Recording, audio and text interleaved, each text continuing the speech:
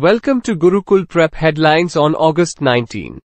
World Sanskrit Day 2024 celebrated on August 19 to honor the ancient language.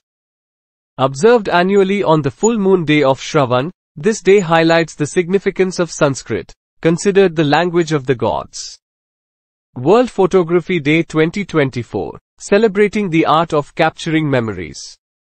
This year's celebration theme is An Entire Day, honoring the impact of photography since its invention in 1837.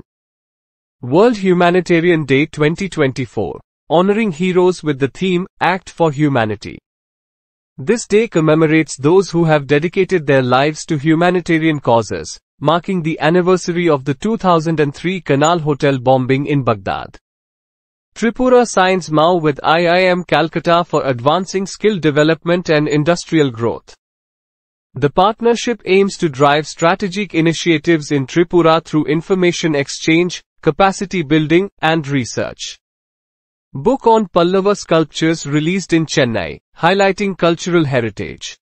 The newly launched book, authored by S. Krishnamurthy, explores the art and material culture of the Pallava period from the 6th to 9th centuries.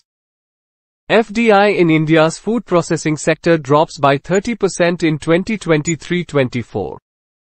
Government data reveals a significant decline in foreign investment in the sector, prompting initiatives to boost future growth.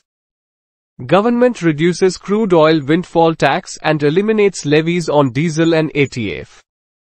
The central government has announced significant tax cuts, effective August 17, to ease the burden on crude oil producers and exporters.